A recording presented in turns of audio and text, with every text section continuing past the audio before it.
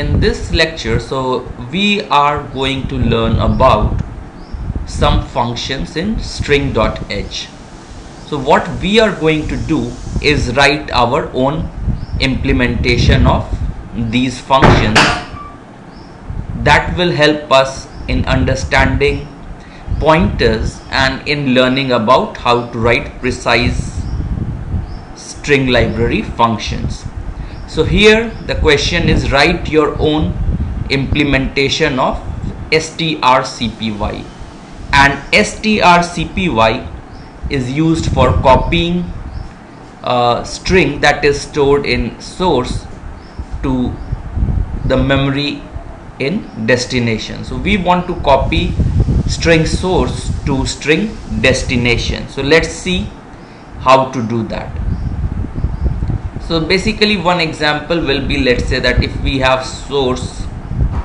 is equal to a b c d then destination should also have the same thing okay? So it should also have a b c d. So version 1 we will see. So let's see. So our aim is that we know that strings are nothing but they are character arrays which ends with a slash 0 okay? So let's say that I write I N D I A as source is that. So okay so source will be I N D I A and a slash 0 okay in the end. And now we have let's say the destination. So destination we make it equal to what? Char destination let's say. What? We make it. So India has five letter string length.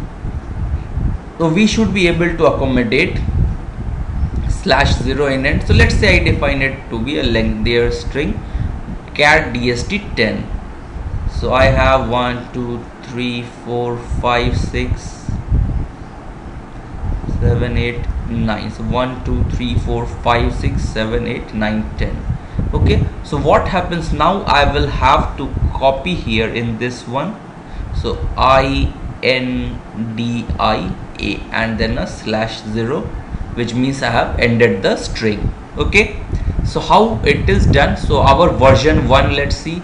And then we will see some of the problems so char star my string cpy char star destination this one so this is destination pointing here. So dst 0 1 2 3 4 5 and this is source. Okay so this is source pointing here 0 1 2 3 4 so what happens is what i do is while while star dst plus plus is equal to star src plus plus. So we continue. So this is a very precise way of writing assignment okay? So what happens is while so this is actually so star dst so dst is a char pointer. It is here initially. So now what happens? So i will copy in it. Star dst means the value here at 0 dst 0 and it will be equal to star src src 0 is i so i is copied here. And then what happens? Now this pointer is incremented and we go to this place. Similarly source now is incremented. I come here. So now again I do star DST is equal to star SRC so N is copied from this place to this place. Again the pointers are incremented. It comes to 2 DST2 and it comes here to SRC2 and this goes and every time there is also a check DST star DST becomes equal to star source. And then what happens this is not equal to slash 0 is also implied here because this is something like dst is star dst is not equal to slash 0 is also implied. And finally when we come here so this is assigned here and then it becomes till it is not equal to this one then only it is done. But the copying of the last slash 0 is done here then only it is checked. After that it comes out of the while loop. So let's see. This is very fine. Okay? So this will do your work most of the time. But this code has some problems. And let's try to see what are those problems. One thing. So let's see. We have very limited memory. Okay? Let's say. So I have something like here. So I N D I A and then slash 0 now let's number these okay? So this memory locations let's say it was 1 2 3 4 5 6 and I have only memory in my computer 10 memory location let's say. And let's say this was source and my destination is from so even though it has six memories but it is using some of the overlapping memories. So it is starting from let's say 3 4 5 6 7 and 8 so now what happens? So dst starts from 3 here. So it will be now overwriting some places of this. So i will be copied. Then what will happen? When i have source and this is destination. So now actually something was written here. So 3 there was a D here then I then A was there in 5 and then a slash 0 okay? But what will happen now if it is overlapping is you will see now what happens here? Star DST will become equal to star source. So I will be assigned here and this I gets assigned at this place also okay? So this is the problem then what happens? It goes to this 2 and now star dst is assigned. Star source so n is assigned here at this place. So now basically n is also assigned because these two memories are same. So now it comes to sources. Now at the third location destination is at fifth location. So now an i is again assigned here. And this is also assigned at this place. Okay so now source moves to 4 destination moves to 6 and it overwrites 6 and it will write n here. And what will happen?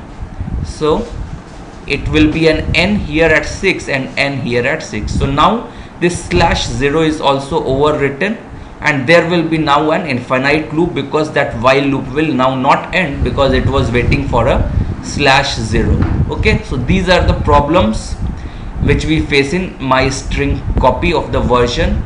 If we don't have a overlapping problem is there and there is also a buffer overflow problem that we are not checking that okay destination let's say if it was assigned only five memory locations and if the word in source was 100 then it will be overflowing because it is not checking for destination end okay so these are the problems. So we will try a next version of our string copy which is my strcpy. Now i make a const char star src. So while star destination plus plus is equal to star src plus plus is the same but only thing is that if because the source is now a const so you cannot make changes in the const memory location. Okay? So this is the thing and then what and if we try to expand this code this was very precise but let's say we write it in a manner like while src star src is not equal to slash 0 which means still I am not at the end of source. So I will copy star destination is equal to star source I increment destination and source.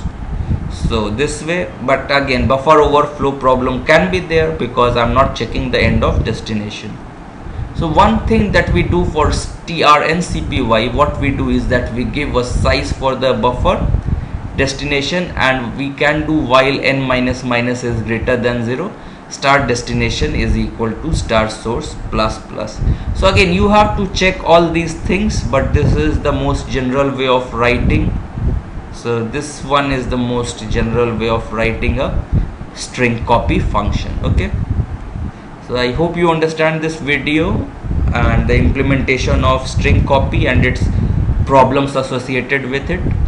Hope you like it and if you like it please subscribe to my youtube channel and share it among your friends. Thanks a lot